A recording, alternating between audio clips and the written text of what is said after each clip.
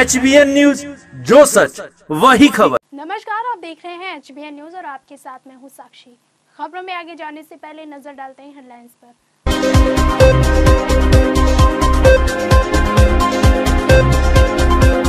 भारत ने पाकिस्तान के उच्चायुक्त को किया तलब। पुलवामा आतंकवादी हमले के मद्देनजर कड़ी दर्ज की आपत्ति। मुश्किल में फंसे अर्जुन रामपाल पर हुआ केस दर्ज। एक करोड़ रुपए न चुकाने का लगा आरोप। पुलवामा आतंकी हमले में जवानों की हत्या पर फूटा बॉलीवुड का गुस्सा, पूरे देश भर में की जा रही निंदा। श्रीदेवी की पहली पुण्यतिथि पर चेन्नई में हुई पूजा, कपूर फैमिली से सिर्फ़ बोनी अनिल ही आए नज़र।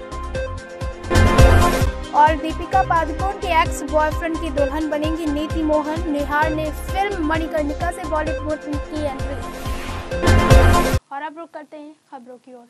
पुलवामा में हुए आतंकी हमले के बाद बड़ी खबर सामने आ रही है। सूत्रों से मिली जानकारी के मुताबिक विदेश सचिव ने पाकिस्तान के उच्चायुक्त को विदेश मंत्रालय में तलब किया और पुलवामा आतंकवादी हमले के मद्देनजर कड़ी आपत्ति दर्ज की। पुलवामा में हुए आतंकी हमले के बाद बड़ी खबर सामने आ रही है। सूत्रों से मिली जानकारी के मुताबिक विदेश सचिव ने पाकिस्तान के उच्चायुक्त को विदेश मंत्रालय में तलब किया और पुलवामा आतंकवादी हमले के मद्देनजर कड़ी आपत्ति दर्ज की।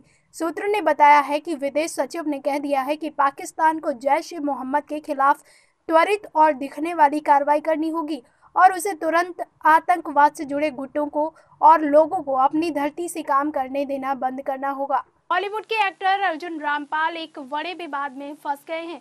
अर्जुन पर एक करोड़ रुपए न चुकाने का आरोप लगा है। एक एंटरटेन कंपनी के मुताबिक उन्होंने एक करोड़ रुपए का लोन तो लिया, लेकिन उसे वापस नहीं किया। बॉलीवुड के एक्टर अर्जुन रामपाल एक बड़े विवाद में फंस गए हैं। अर्जुन पर एक करोड़ रुपए न चुकाने का आरोप लगा है। एक एंटरटेनमेंट कंपनी के मुताबिक उन्होंने एक करोड़ रुपए का लोन तो लिया, लेकिन उसे वापस नहीं किया। मीडिया रिपोर्ट्स के मुताबिक, अर्जुन ने पिछले साल मई महीने में वाई एंटरटेनमेंट नाम की कंपनी से ब्याज पर एक करोड़ रुपए लिए थे। जम्मू कश्मीर के पुलवामा ज़िले में एक बेहद ही दुर्भाग्यपूर्ण घटना हुई और इस घटना की पूरे देश भर में निंदा की जा रही है। वहीं बॉलीवुड सेलेब्स ने भी सोशल मीडिया पर अपना गुस्सा और दुख ज़ाहिर किया। जम्मू कश्मीर के पुलवामा ज़िले में एक बेहद ही दुर्भाग्यपूर्ण घटना घटित हुई और इस घटना में एक्सप्लोसिव लदे एक वाहन ने सेंट्रल रिज़र्व फोर्स के जवानों से भरी एक बस में टक्कर मार दी। इस आतंकी हमले में अब तक 40 से ज़्यादा जवानों के शहीद होने की सूचना है। घटना की पूरे देश भर में निंदा की जा रही है। वहीं बॉलीवुड सेलेब्स ने भी सोशल मीडिया पर अपना गुस्सा और दुख ज़ाहिर किया। कैलेंडर के मुताबिक वैसे तो श्रीदेवी की पहली पुण्यतिथि 24 फरवरी को है, क्योंकि 2018 में इसी दिन दुबई के होटल में उनका निधन हुआ था।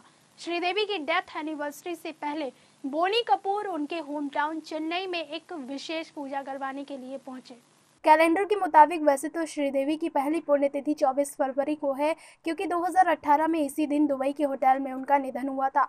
श्रीदेवी की डेथ एनिवर्सरी से पहले बोनी कपूर उनके होम टाउन चेन्नई में एक विशेष पूजा करवाई और ये पूजा 14 फरवरी को इसलिए रखी गई क्योंकि पंचांग की तिथियों के मुताबिक उनकी पुण्यतिथि 14 फरवरी को ही है। बॉलीवुड सिंगर नीति मोहन आज शादी के बंधन में बंधने जा रही हैं। नीति निहार पंड्या से शादी करने जा रही हैं और निहार ने हाल ही में फ़िल्म मणिकर्णिका से बॉलीवुड में एंट्री की। बॉलीवुड सिंगर नीति मोहन आज शादी के बंधन में बनने जा रही हैं। नीति निहार पांड्या से शादी कर रही हैं। निहार ने हाल ही में फ़िल्म मणिकर्णिका से बॉलीवुड में एंट्री की है। बता दें कि निहार दीपिका पादुकोण के एक्स बॉयफ्रेंड हैं। हाल ही में कपिल शर्मा के शो में नीति और निहार ने अपनी शादी के बारे में जानकारी दी थी और आज दोनों शादी के बंधन में बनने जा रहे हैं। और इसी के साथ दीजिए मुझे इजाज़त और आप देखते रहिए एचबीएन न्यूज़